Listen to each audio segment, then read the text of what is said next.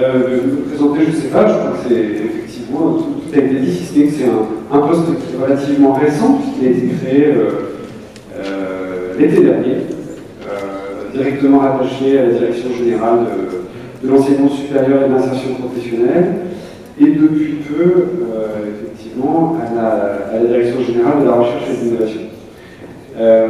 L'objectif pour moi aujourd'hui, ça va être de, de présenter donc, la, la stratégie numérique du ministère en quelques dizaines de minutes. Vous pas que c'est une gageure. Euh, c'est une gageure pour au moins trois raisons. D'abord parce que la réalité que recouvre ce terme de, numérique euh, est vaste, une très grande variété, on va y venir. Ensuite parce que l'écosystème euh, est en, en, pleine mutation et que les rôles et positions respectives des acteurs sont en cours de reconfiguration. Et puis enfin, et c'est probablement la conséquence des, deux points précédents, euh, il n'est pas question aujourd'hui de formaliser une stratégie univoque, euh, descendante au ministère qui viendrait irriguer de sa bonne parole l'ensemble des établissements, des organismes de recherche qui n'attendaient que ça. Ça, ce serait euh, totalement anachronique, évidemment. Donc j'ai choisi de partager avec vous cinq défis, cinq défis qui sont liés à l'élaboration de cette stratégie, cinq défis que chaque jour nous essayons de, de relever au ministère, dans les établissements, dans les associations professionnelles, euh, chez nos opérateurs. Alors, la première complexité euh, lorsqu'il s'agit numérique, et, vous êtes tous très bien placés pour le, savoir, c'est de définir finalement les contours de ce, de valise, de ce paradigme, de s'assurer qu'il est bien identique pour vous et pour vos interlocuteurs. Alors c'est compliqué parce que le numérique, c'est des technologies, c'est des services, c'est une culture, c'est des usages, c'est une économie, vous savez, l'économie numérique, on entend parler. Euh, c'est des enjeux sociétaux, ce sont des métiers, les métiers numériques sont une filière, la filière de, de partenaires qui sont, qui sont là. Bref, c'est hyper compliqué. Donc, ce que je vais faire, pour ma part, c'est d'essayer de, de voir avec vous les différentes strates euh, sur lesquelles moi j'essaie d'avoir une vue d'ensemble, c'est-à-dire celles qui sont dans le périmètre du conseiller numérique de, la DGCIP et de la DGF. La première, ce sont les infrastructures, réseau euh, d'une part, et euh, les data centers, les centres de calcul, les centres d'hébergement. Ensuite, on va avoir tout ce qui concerne les données. Alors, les données, c'est très vaste aussi. les données d'identité, les traces, les données de la recherche, les publications, c'est tout ça qu'on va regrouper euh, derrière ce, ce mot. Les applications de gestion, RH, finance, la gestion des UNR, la scolarité, vous connaissez très bien, Stéphane de vous présenter, ou en tout cas parler du projet Scol euh, hier, je crois, Stéphane Tanas. Les services numériques qui sont liés au métier de l'enseignement supérieur et de la recherche, donc la pédagogie, la recherche, la campus, l'insertion professionnelle, les nouveaux usages, alors eux sont transversaux, ils ne sont pas spécifiques à l'ESR, mais on va retrouver euh, la mobilité, le collaboratif, euh, euh, tout ce qui est relationnel, en anglais, en anglais on social, parfois en français aussi, la présence à distance, etc. Et puis on va retrouver la gouvernance, on va retrouver la stratégie, on va retrouver la politique, ce dernier qui n'est pas directement dans mon périmètre, mais qui l'influence assez régulièrement. Et j'aurais pu rajouter euh, euh, les, campus. Euh, Florence Colère en a parlé tout à l'heure, comme étant une, une, brique aussi qui pourrait être dans, dans mon.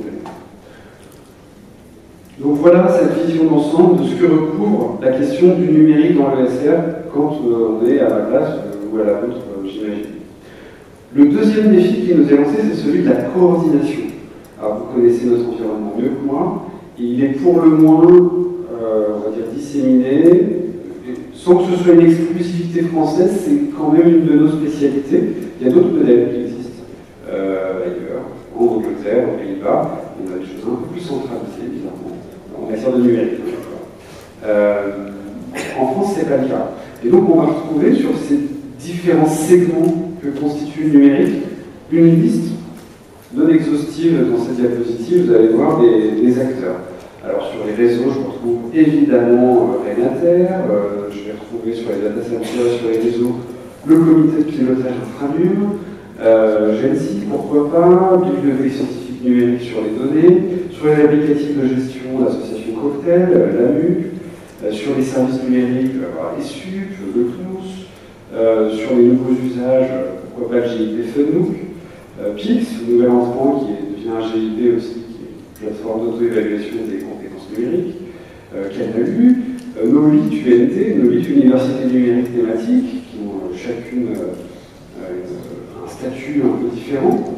Et puis au niveau de la gouvernance et de la stratégie, on va Codornum, pourquoi pas la direction du numérique éducatif aussi, qui, intervient, le Conseil national du numérique, les différentes conférences qu'on va retrouver, les associations professionnelles, bien sûr, le CGI évidemment, qui vient modeler le paysage, sur la partie politique, les ministres, j'ai bien dit les ministres, et puis pourquoi pas même, euh, dans certains cas, le président de la République. Euh, je, volontairement un peu fourre-tout. Euh, ça, c'est une véritable complexité parce que chacun des acteurs qui est cité là, et je vous dis, la liste n'est pas exhaustive, a sa propre stratégie numérique. Parfois, souvent même, elle est orientée ou influencée par le ministère.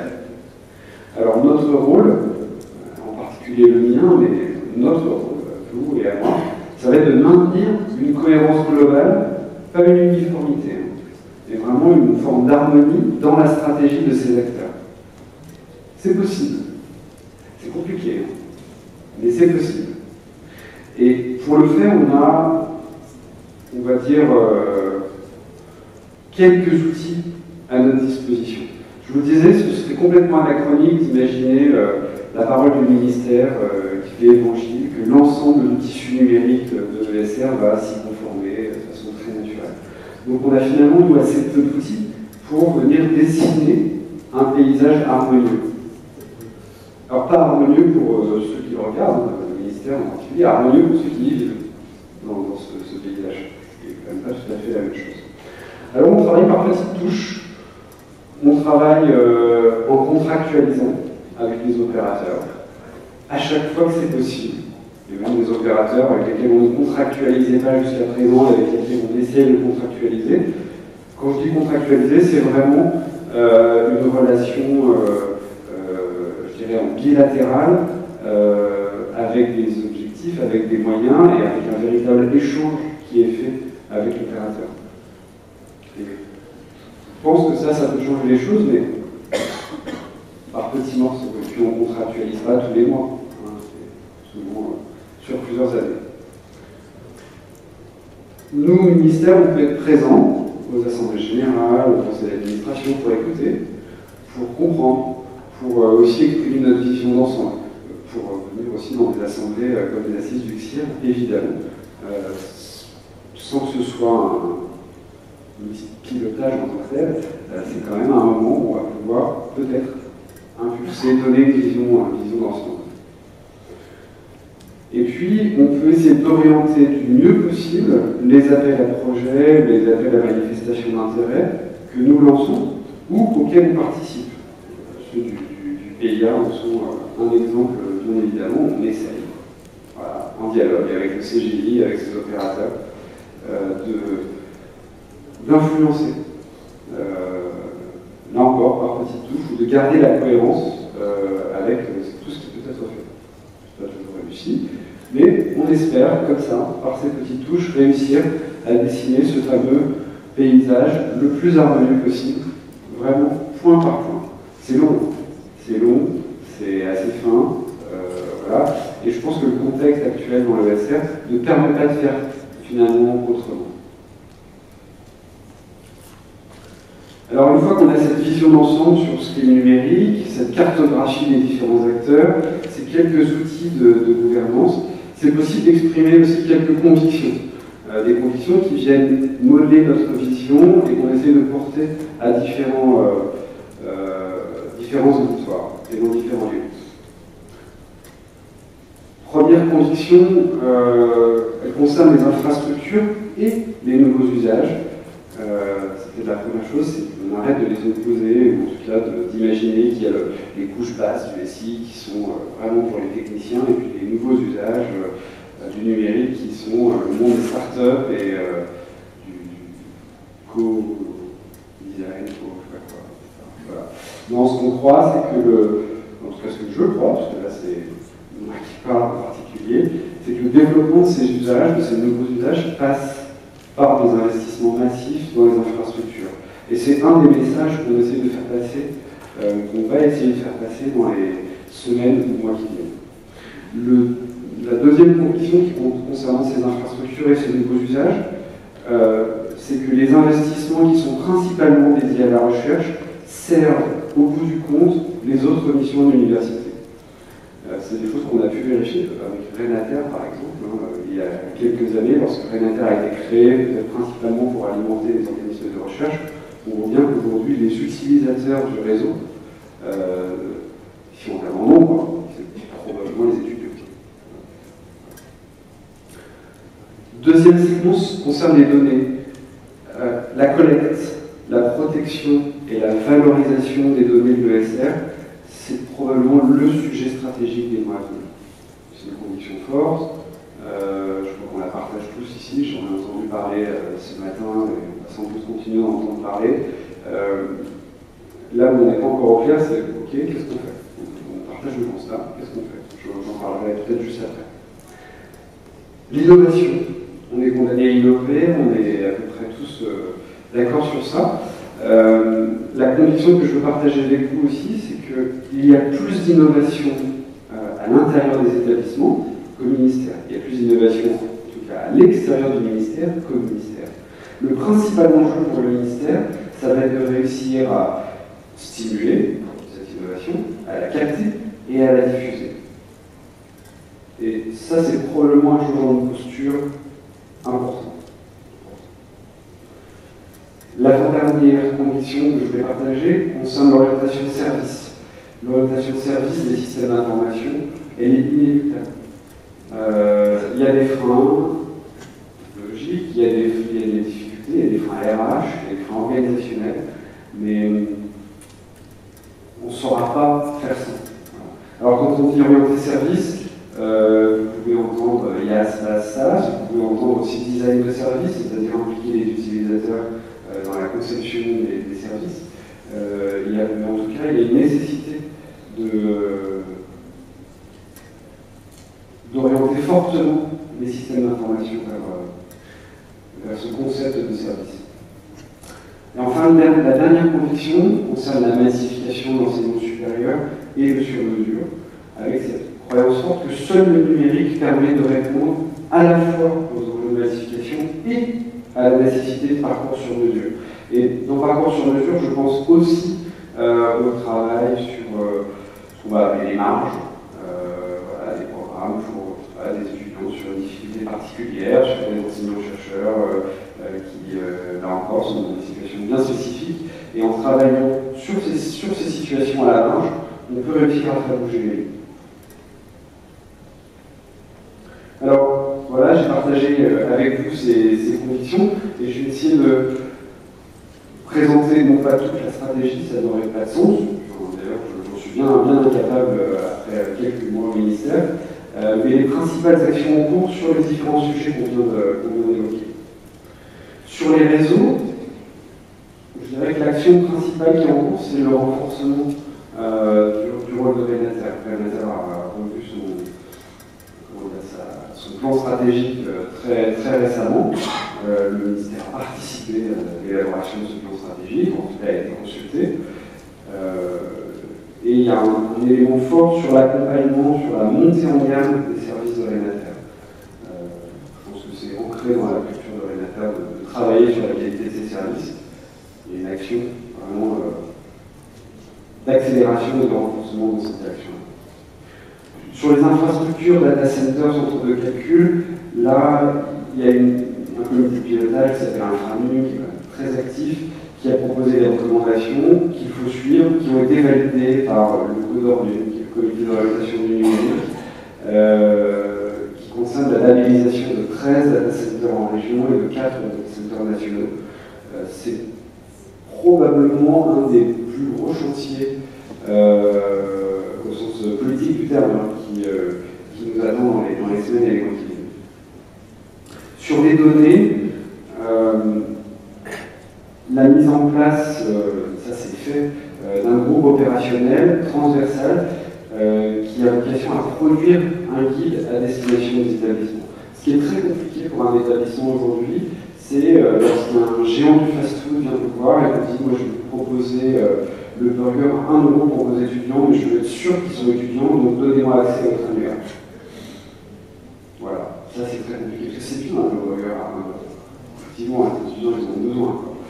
Mais euh, est-ce que je peux donner accès comme ça voilà. Cette frontière-là, qui n'est pas purement réglementaire, la, loi ou la clinique peut nous aider, mais c'est pas purement réglementaire, c'est plus proche de l'éthique.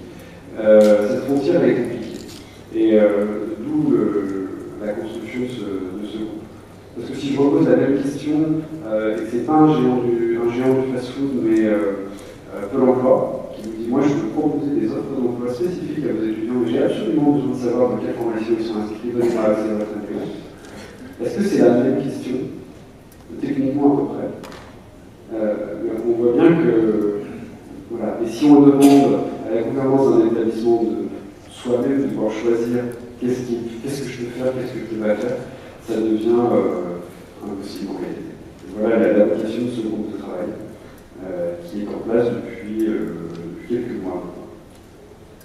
Sur les applicatifs de gestion, je pense que le principal sujet, c'est la signature du nouveau contrat quinquennal de, de l'ANU et l'intégration dans ce contrat de cette orientation service assez, forte, qui a été le sujet de beaucoup de discussions hein, d'ailleurs euh, entre euh, les, différentes parties prenantes que peuvent être les établissements, la BU et, et, le ministère.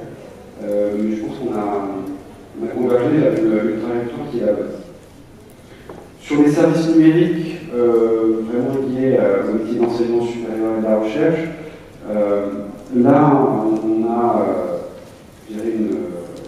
un trou dans la faut absolument qu'on arrive à développer ces services numériques liés à la pédagogie, liés à la vie étudiante. Euh, aujourd'hui, euh, quand on met en face, ce sont des, acteurs individuels qui se positionnent, des acteurs privés souvent qui se positionnent sur ces sujets-là. Ça, ça ne pose pas de problème. Ce qui m'embête plus, c'est que chaque établissement euh, négocie individuellement avec tel ou tel acteur et qu'on n'arrive pas à avoir une approche cohérente. Alors parfois c'est cohérent, par chance, et puis parfois pas du tout. C'est exactement comme si aujourd'hui chaque établissement devait négocier sa connexion réseau avec euh, des euh, euh, Orange, Free, etc. etc. Bah, on ne fonctionne pas comme ça, et c'est tant mieux. Et enfin, sur les, les spécifiques sur la pédagogie en particulier, il y a de nouveaux contrats d'objectifs et de moyens qui sont en cours de, de signature avec les universités numériques thématiques et qui, là encore, je crois, font quand même beaucoup bouger les lignes. Les UNT sont des organismes utiles, qui ont été beaucoup critiqués, parfois à juste titre, et sur lesquels on a vraiment besoin euh, d'augmenter le niveau d'exigence. Sur les nouveaux usages, euh, là, je, je redis ce que je sur l'innovation tout à l'heure, il y a plus d'innovation à l'extérieur qu'à l'intérieur du ministère. Euh, il faut qu'on arrive à favoriser cette innovation participative et la diffusion de cette innovation. On a quelques outils pour le faire. Et enfin, sur la gouvernance, renforcer le rôle du et des comités qui composent. Alors, le Codornium, je rappelle un peu, le comité d'orientation numérique, qui est au ministère, euh, qui est la plus haute instance de gouvernance sur ces, sur ces sujets-là. Et euh, ce comité est structuré par un comité de pilotage sur les infrastructures, j'ai écrit INRA, c'est infra qu'il fallait dire, pardon. Euh, un comité sur les systèmes d'information, un comité sur la bibliothèque scientifique numérique, un comité sur la formation numérique. Voilà. J'ai été euh, très rapide et j'espère que vous aurez le temps d'échanger. Euh, je vous remercie. Une, une, première question précision. Euh, tu as évoqué les, applicatifs de gestion et notamment l'action de, de l'AMU. Euh, dans, cette, action applicative de gestion, est-ce que tu, tu inclus les applicatifs de scolarité tels que le projet euh, PCSCOL.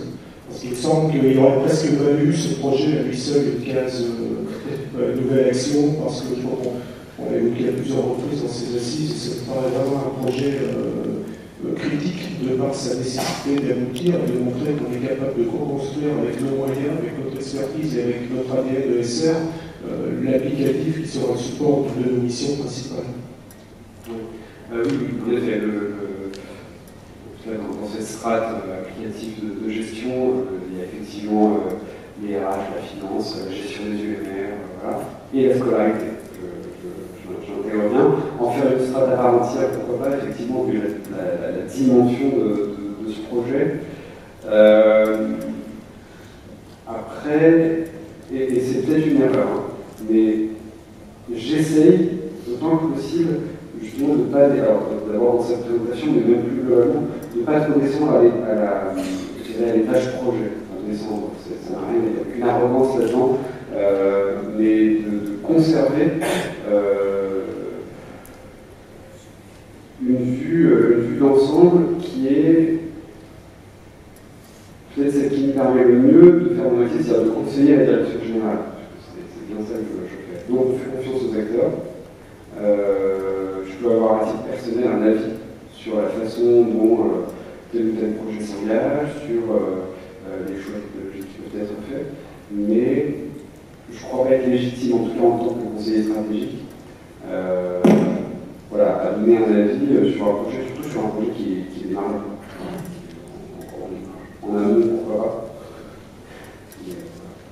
C'était plus une question de faire un, focus sur l'importance et l'essence du projet. Alors, c'est le projet SI des, bah des 3, 4, 5 ans qui viennent, c'est sûr. C'est sûr.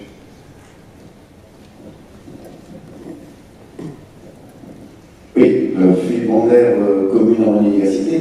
J'ai commencé à travailler sur les dossiers, alors les pré-dossiers de labellisation euh, centre de données. Euh, Est-ce que vous avez vous dit que c'était très important pour 2017, mais il n'y a pas encore d'échéancier, enfin avoir des dossiers à quel moment euh, ah. Vous avez des idées? Oui, en fait, alors euh, enfin, j'ai pas le calendrier précis, éventuellement, je, euh, je peux, sans, aucun problème, pour me coordonner et demander euh, à ce qu'on me l'envoie. Euh, ce que je disais sur les, semaines et les mois qui viennent, c'est très très important pour 2017, c'est parce qu'il va falloir investir de façon massive